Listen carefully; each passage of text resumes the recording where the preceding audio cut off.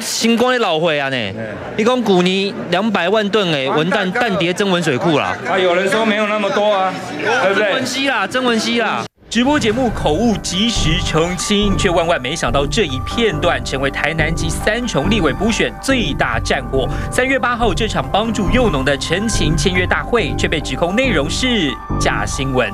谢龙介说他从来没有讲文旦又丢在水库，但是各位看得很清楚，这个节目啊，它下面标题就是写文旦又两百万吨丢在丢在水库里。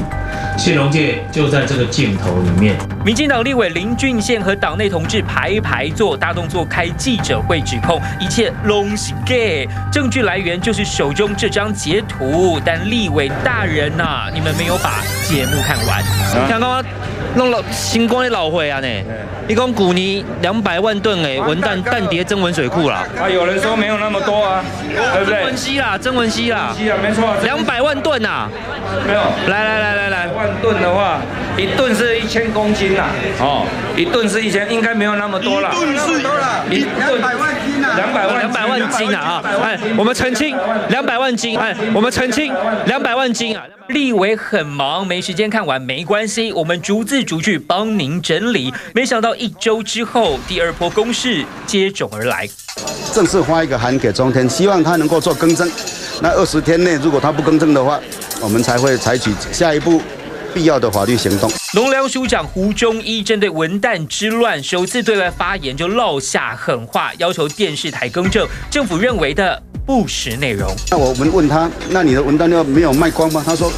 他不是只有文旦料，他连白柚都卖光了，因为他去年他的品质很好，价格也卖得很好，所以并没有把他的文旦料丢在这个增文溪或增文水库的现象。署长振振有词，看起来胸有成竹，原来已经掌握当事人陈姓农民说法，手中握有证据。但回头再看一次节目内容，陈姓农民从头到尾就没有说过柚子出问题的是自己。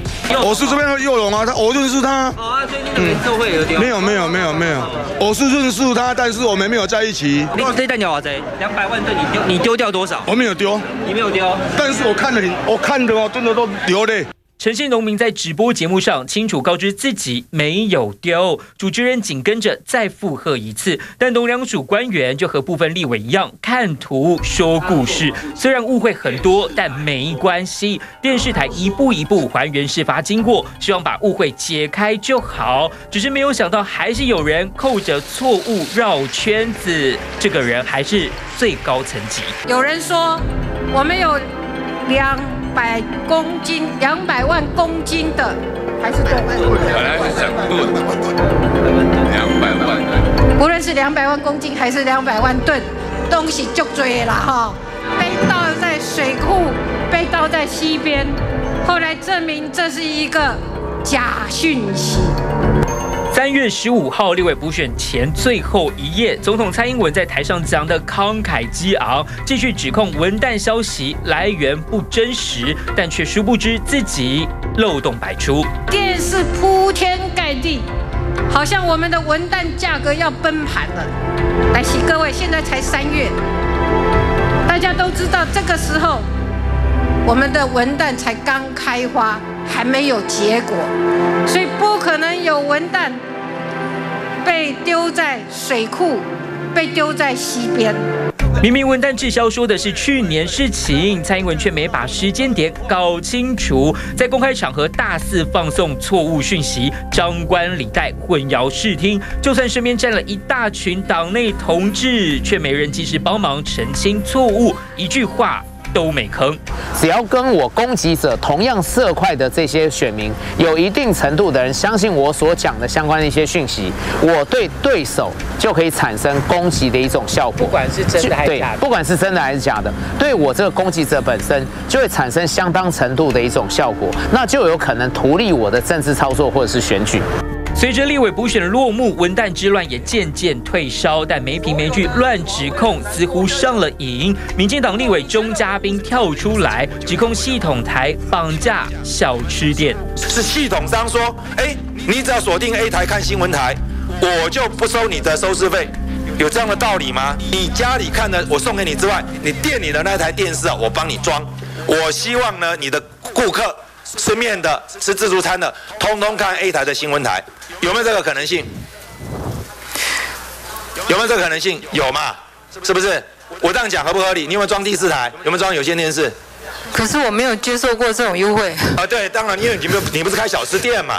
公平会主委面对质询，一脸无奈，因为根本没有听说过类似情形。不过，民进党立委很团结，委员会上制作精美报表，一个一个炮火全开，讲得煞有其事，但其实证据一个也拿不出来。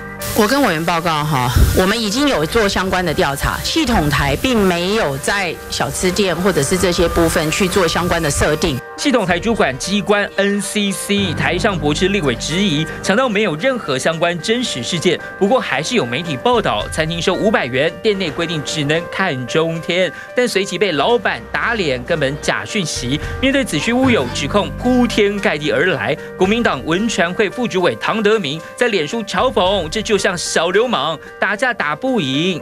叫警察，只要我族团体有相信的一种百分比，那我这个话题就能够透过网络时代不断的传输出去，这样的一种病毒式行销的传输方式，就会沸沸扬扬的炒成一个似似有。似是而真的一个相关的一个话题的一种氛围，只要产生这样的一种话题性的话，对我要攻击的那个政治人物，他可能就会产生相当程度的一种杀伤力道。而加上这样的一个假新闻，你要去求证假讯息，你要去求证，有相当程度的一种困难性。五百元真的就能控制选台权吗？学者多半认为不可行。短短不到一个月，从文旦之乱再到绑架系统台消息，可以发现。指控都没有根据，却在短时间内发酵，成为特定政党及人士的攻击武器。不是网军，是找网络小编来提供正确信息，缓急最近不断的用假消息来欺骗农民。面对政府口中的假新闻，行政院农委会不是选择澄清错误，而是纷纷砸下重金找网络小编。表面上强调是导正讯息，但看看这几次事件政府的处理态度，到底哪边说的才是假新闻？民众自由判断。要谈说保障 这个其他媒体的新闻言论自由，请 NCC 用同样的标准，从现在开始每一台查啊，好。或者把过去吧，因为这也是过去的嘛，也不是今天发生的嘛，这是几月几号发生的事嘛，那就当天以后有发生同样的事情，每一台都拿出来罚，而且都罚一样。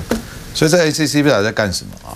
自从的这个苏文昌接了院长之后，这 NCC 就变脏兮兮了啊。先主委被被告诫哈，说你什么事都不干，然后我们什么人都管不到你，哎，结果没几天他就请辞了。先开罚以后，然后请辞，然后就下台。那现在，呃，上一次有罚过，然后上一次我们也讲说什么那个，诶，三三个市长合体啊，什么天线祥云这个就罚，然后另外一个这个赖奎接任阁魁当天天线巨龙红光也不罚。所以这 NCC 到底你的标准是什么？而且作为一个新闻或者说我们讲说这个传播的监管机关。我们一直讲新闻自由，对媒体的这一部分，我们的要求是什么？是自律的，就是媒体自律。那如果从媒体自律的角度我们来看这件事情的话，第一个，受访者他口误了，请问有没有更正？啊，他有更正的嘛？对不对？如果今天他没有更正，主管机关 NCC 下达这个警告说，诶，这件事情你说错了，你有没有更正？你要不要更正？如果这个媒体坚持不更正，发现错误坚持不更正，你罚他当然没有话讲，啊，他没有连自律都做不到嘛，所以需要他律，你去你去你去管制他嘛。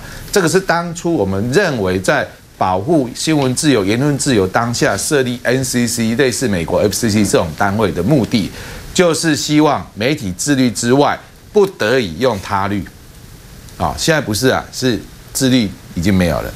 直接他律，而且是他律的标准是不一的。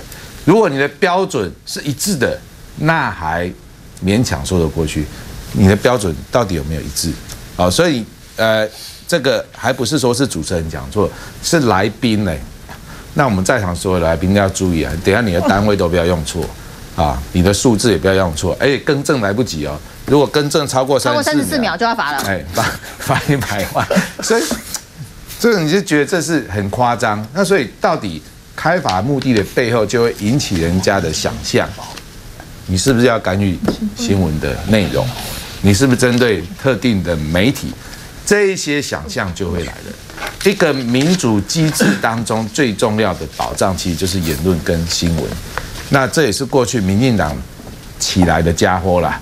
就是说，其其实今天民进党今天这个地位，是从要求这件事情做起的。成立 NCC 其实也是当初你们啊认为新闻局这个都在前置言论自由，所以应该废掉，最后成立了 NCC 的。现在你执政了，尤其苏文昌的记录，你不是第一次哦。你在你上一次担任院长的时候，你就曾经有干预 NCC 这样的记录哦。